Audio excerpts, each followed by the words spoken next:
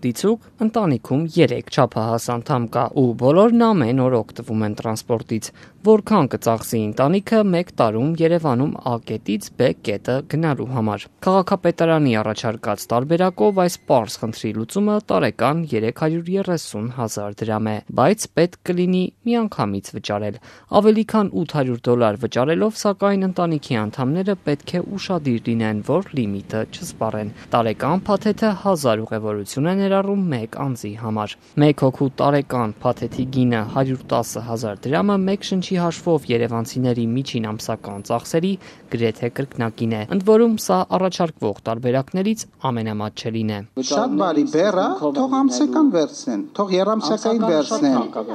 Մյուս տարբերակները թող ընտրեն, հակադարձում է փոխքաղաքապետ Սուրեն Գրիգորյանը։ Օրինակ ամսական կամ 90-օրյա տոմսերը, բայց թե սրանցից մեկը վերցնեք, ել ավելի շատ կվճարեք մեկ ուղևորության համար։ Ամսականը մեկ անձի համար կարժենա 11000 դրամ կներառի 60 ուղևորություն։ Եթե շատ հաճախ եք օգտվում տրանսպորտից օրական մի քանի անգամ, ձեր փաթեթը շուտ կսպառվի։ Ամիսը չավարտված պետք կլինի կրկին վճարել։ Նույն տրամաբանությամբ կգործի նաև երամսյակայինը, կարժենա 25000 դրամ, 180 ուղևորության համար։ Ես օրը 600 դրամ տրանսպորտի գումար եմ ծախսում, օրը։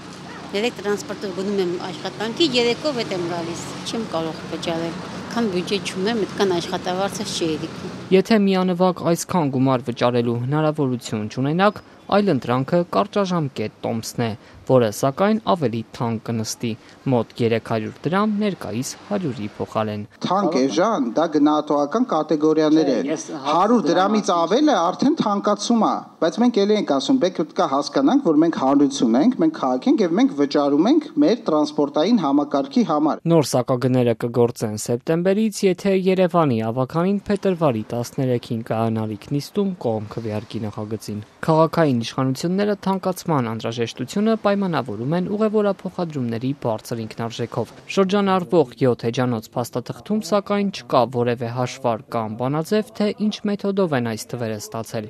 Թբիլիսիում, Աստանայում, Պրահայում այս փաթեթներն ավելի էժան են ու անսահմանափակ։ Երևանի քաղաքապետարանի առաջարկած գները համընկնում են Բուխարեստին, Բելգրադին։ Եվրոպական այս երկրներն այնինչ ավելի զարգացած տնտեսություն ունեն։ Մեր ուսումնասիրած բոլոր քաղաքներում անսահմանափակ փաթեթներ են գործում։ Պաշտոնական թվերով երևանցիները մեկ ամսում միջինը շուրջ 70 հազար դրամ են ծախսում։ Իշխանականները հաճախ խոսում են աշխատավարձերի բարձրացման մասին, այնինչ Երևանում դա դարձյալ պաշտոնական տվյալներով աղքատության մակարդակը բարձրանում է։ Բնակիչների 19% աղքատ է։ Պատրաստ եք տարեկան 110 հազար դրամ վճարել տրանսպորտի համար, հարցրին քաղաքացիներին։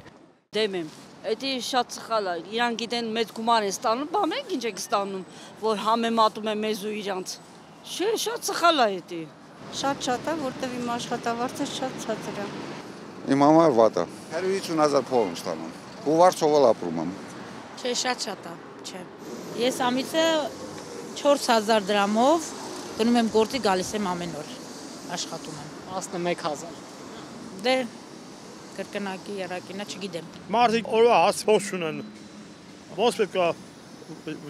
Դեռ հայտնի չէ, թե ինչ սակագներ կգործեն թոշակառուների, նպաստառուների, ուսանողների ու երեխաների համար։ Քաղաքային իշխանությունը զեղչեր է խոստանում, բայց մանրամասներ դեռ չի հայտնում։